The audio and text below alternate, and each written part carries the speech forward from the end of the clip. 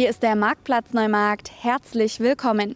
Früher war es das Haus der Selbsthilfegruppen. Und dann wurde im Neumarkter Stadtteil Pölling irgendwann der Wunsch laut, man möge doch das Gebäude gegenüber der Kirche sanieren und eine Art Bürgerhaus daraus machen. Die Stadt nimmt nun auch einige Millionen in die Hand und vor wenigen Tagen zeigte sie, wie weit das Projekt fortgeschritten ist. Kennen Sie Voldemort? Das ist der Böse aus den Harry Potter-Romanen, dessen Name nicht genannt werden darf. Und das ist das Haus des Engagements, dessen Name zwar genannt wird, aber noch nicht feststeht. In den letzten Monaten hat man hier im Neumarkter Stadtteil Pölling ordentlich gezaubert. Die Stadt Neumarkt sanierte die alte Schule zu einem modernen Bürgerhaus.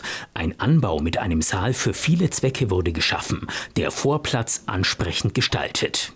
Dass alle Räume hier nach Neumarkter Stadtteilen benannt sind, soll zeigen, das Haus, dessen Namen genannt wird, aber noch nicht feststeht, steht zwar in Pölling, soll aber ganz Neumarkt dienen. Gerade im alten Schulhaus waren früher auch federführend ähm, die Selbsthilfegruppen aus dem gesamten Landkreis und die sind ja auch weiterhin dann die Nutzer, die freuen sich auch schon auf die neuen tollen Räumlichkeiten. Im Rahmen der Planungen ist übrigens zu den damaligen Räumen sogar noch ein schöner Raum dazugekommen, nämlich direkt unter dem Dach mit dem alten Dachstuhl, ein schöner Raum. Es haben sich schon einige Gruppen angemeldet, ob das jetzt eine, eine Mutter-Kind-Gruppe ist, die das auch nutzen wollen. Vergangene Woche lud die Stadt zu einer Baustellenbegehung des 8,2 Millionen Euro Projektes. Obwohl die alte Schule fast schon fertig saniert ist, gab es vor kurzem nochmal Budenzauber. Die SPD fragte, ob man nicht doch noch die Magie der Sonne nutzen und eine Photovoltaikanlage auf das Dach hexen könne. Ein Plan, dem die Stadtspitze jedoch eine Absage erteilte. Es ging mir nicht mal darum, ob diese PV-Anlage äh, dementsprechend finanziell sich rentiert, sondern die Aussage der Regierung der Oberpfalz als die Förderbehörde, die ja immerhin 5 Millionen Euro dazugeben wird. Ähm, und die Aussage war, wenn wir das jetzt alles noch ändern würden, nachträglich, obwohl der Bau ja schon diesbezüglich fertig ist, könnte es Fördermittel in nicht unerheblichem Umfang kosten. Und dieses Risiko wollte ich nicht eingehen. Der Stadtrat hat es dann auch so gesehen. Und so mancher sah das Haus, dessen Name schon genannt wird, aber noch nicht feststeht, wohl auch eher als Harry Potters Raum der Wünsche. Im Stadtteil Pölling wünschte man sich nämlich einen anderen Namen als Haus des Engagements.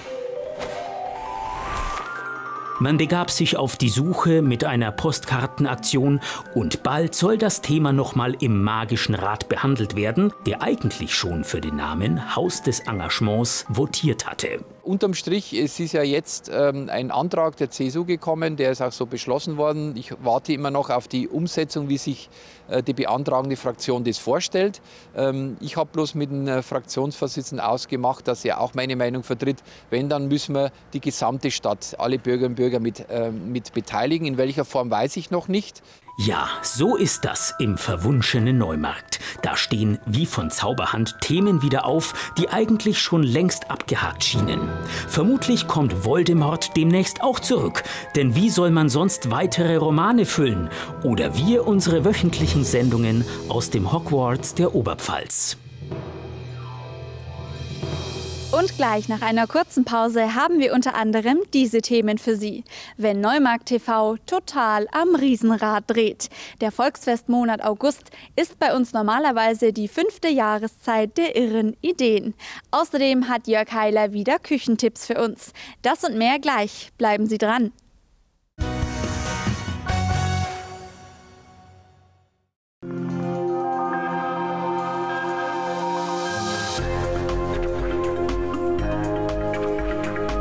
Suchen nicht einfach einen Käufer für Ihr Objekt. Wir ermitteln ihn.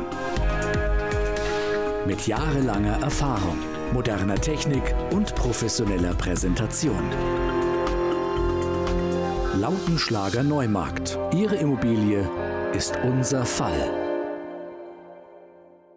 Besuchen Sie die größte Miele-Ausstellung der Region im Miele Center Ochsenkühn. Wir bieten eine umfangreiche Auswahl an Küchen- und Elektrogeräte für Haushalt und Gewerbe. Unser zertifizierter Kundendienst bringt nicht nur Ihren Kaffeeautomaten wieder zum Laufen.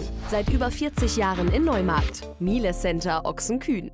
Regional und handwerklich ist das neue Bio. In unserer Metzgerei im Herzen von Neumarkt finden Sie über 100 hausgemachte Spezialitäten. Zartes Fleisch von Tieren aus der Region. Bei Feiern verwöhnt Sie unser Partyservice. Bögerl, weil ich besser essen will. Wo kauft man Peugeot? Na, bei Autohaus Müller in Neumarkt. Ihrem Fachhändler mit Familientradition. Top-Werkstattservice. Kompetent und super freundlich. So urteilen unsere Kunden. Autohaus Müller, Ingolstädter Straße 86 in Neumarkt. Kommen, kaufen, glücklich sein. Andere reden nur von Digitalisierung. Wir reden mit Ihnen. Schmer IT ist Ihr Full-Service-Dienstleister in den Bereichen digitale Zeiterfassung, Sicherheit von sensiblen Daten und effiziente Infrastrukturen. Wir vernetzen nicht nur Computer, wir verbinden Bereiche und Menschen Ihres Unternehmens. Schmer IT, Neumarkt und Traunfeld. Bereit für den nächsten Schritt. Willkommen zurück. Wenn sich manche Neumarkter momentan unausgefüllt fühlen, könnte das daran liegen, dass normalerweise um diese Zeit das Jura-Volksfest stattfindet. Und so mancher Jurastädter stattet diesem Fest ja nicht nur einen Besuch ab. Übrigens, wenn das Volksfest nicht gerade wegen einer Pandemie abgesagt wird, sind auch wir von Neumarkt TV regelmäßig vor Ort. Allerdings starten wir unsere verrückten Aktionen nicht erst nach der zweiten Maßfestbier. Jura-Volksfest. Das ist die Zeit, in der der Neumarkter normalerweise gesellig ist, fünf Ungerade sein lässt und auch mal aus sich rausgeht. Und auch das Team von Neumarkt TV kannte da schon oft keine Hemmungen. Regie, Musik.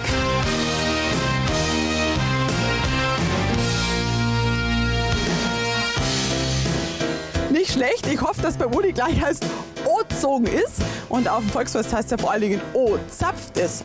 Und im Lauf der letzten, man kann schon sagen Jahrzehnte, haben wir immer wieder unser Fass mit verrückten Ideen angezapft, um unsere Sondersendungen vom Volksfest mit amüsanten Aktionen zu bereichern. Man denke hier nur mal an das Neumarkt TV Bierkrugschubsen, das wir mit Festbesuchern spielten. So, wichtig, Thorsten, dein erster Versuch. Bitteschön. Die Krüge mussten möglichst nah an die Kante, aber nicht drüber. Das war schon mal gar nichts. Aber jetzt gilt's. Jetzt entscheidet sich, wer hier das Neumarkter TV Bierkrug Schubsen gewinnen wird. Wie, wie war es ein Gefühl? Sehr gut. Weniger Geschick als viel mehr Kraft war bei der Aktion Strampeln für den Spaß gefragt. Mit Hilfe eines Spezialfahrrades sollten die Volksfestbesucher Strom für den Betrieb des Riesenrads erzeugen. Wie weit hat sich denn das Riesenrad jetzt gedreht? Also nach circa einer Minute im Mittelwert von 200 Watt gehen wir von 1,5 Grad aus. Schauen Sie mal davor und dann sehen Sie, wie viel sich das Riesenrad gedreht hat. Okay, nicht viel. Die verrückten Volksfestaktionen von Neumarkt TV begannen oft schon vor dem Anstich. Zum Beispiel, als wir den Schaustellern beim Putzen des Glaslabyrinths halfen. Da bekam das Wort Television eine ganz neue Bedeutung. Also Uli, hier links oben in der Ecke sind noch ganz schöne Schlieren, da muss man schon noch mal drüber gehen. Ach, mach's doch selber.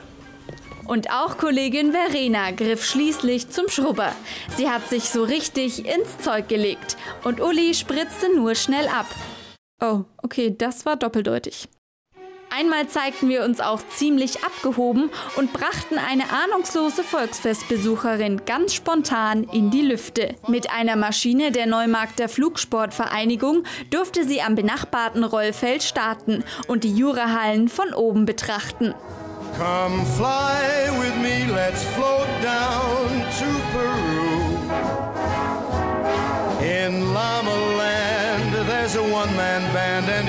Es gäbe noch so viel zu erzählen über die verrückten Volksfestaktionen von Neumarkt TV. Zum Beispiel über das eine Mal, wo Uli in den Jurahallen die Stimmung drücken wollte. Ich bin so nah am Herzinfarkt. Ich bin der Anton aus Neumarkt. Sonst, das müsst ihr wissen, geht's mir überaus beschissen. Bin der Anton aus Neumarkt. Und jetzt, da die Stimmung am Boden ist, hebt die Gläser. Ein Prosit, ein Prosit der Verdrießlichkeit. Oder über die verlorene Wette, die zu einem Bad in der Wildwasserbahn führte. Clemens, du hast die Aufgabe nicht bestanden. Und jetzt Jetzt gibt's Ärger.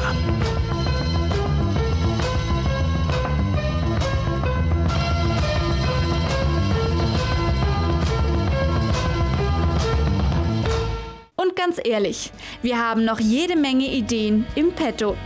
Zum Glück kommt das nächste Jura-Volksfest bestimmt. Unsere aufwendigste Volksfestaktion hatten wir übrigens im Jahr 2020, also in dem Jahr, als die Traditionsveranstaltung das erste Mal wegen der Corona-Pandemie abgesagt wurde. Unser TV-Special Liebling, ich habe das Volksfest geschrumpft wurde vor wenigen Wochen mit dem Bayerischen Lokalfernsehpreis ausgezeichnet. Und aus diesem Anlass zeigen wir die Sondersendung am Freitag in Endlich Wochenende noch einmal. Jetzt aber ab in die Küche zu Jörg Heiler. Wir wissen, was gut schmeckt. Vom Fass in Neumarkt präsentiert Topf Secret.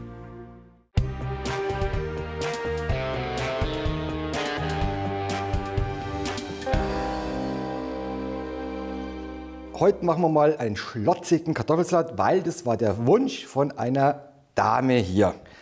Wir machen hier Schalotten oder Zwiebeln rein. Und zwar dünsten wir die jetzt an, ohne Öl. Da brauchen wir nur eine kleine Prise Zucker und eine kleine Prise Salz. Jetzt gebe ich den Senf dazu. Den lasse ich auch so ein bisschen mitrösten, ne? kurz.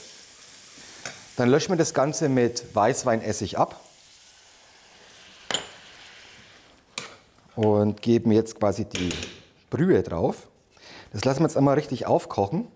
In der Zwischenzeit schneiden wir unsere Kartoffeln. Wichtig sind festkochende Kartoffeln. Das sind als Pellkartoffeln gekocht in Salzwasser.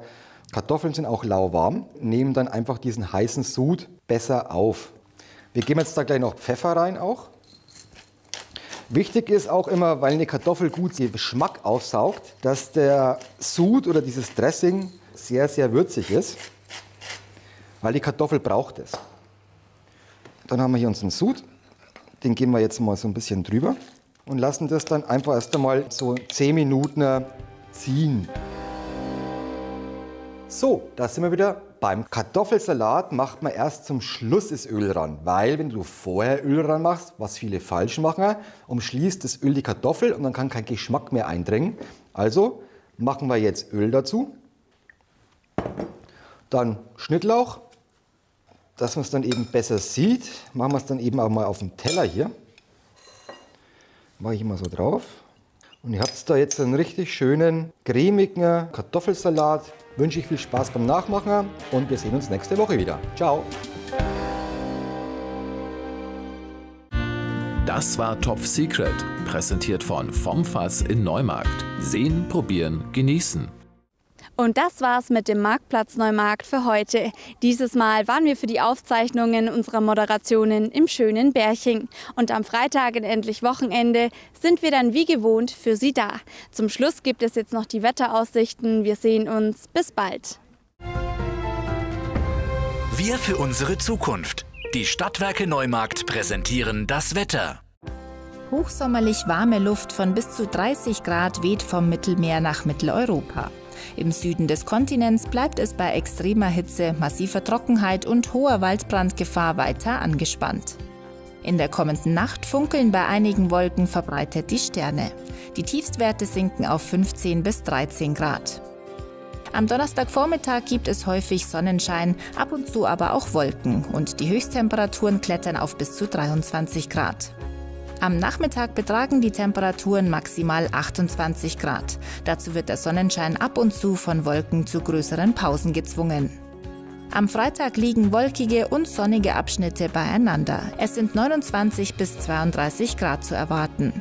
Am Samstag gibt es zeitweise Sonnenschein, ab und zu aber auch Wolken und es werden Höchstwerte von bis zu 29 Grad erzielt. Am Sonntag klettern die Temperaturen auf 31 bis 34 Grad. Dazu ist der Sonnenschein nur gebietsweise durch Wolken getrübt. Für gutes Klima. Heute, morgen, übermorgen. Handeln Sie grün mit den Stadtwerken Neumarkt.